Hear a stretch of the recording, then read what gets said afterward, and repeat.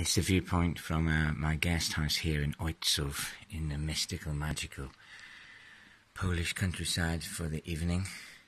Um, it's the next morning now. Little mist, little rain in the air.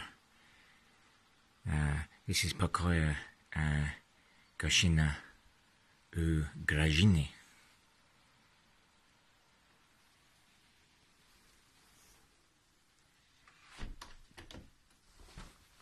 If you like the other window just here.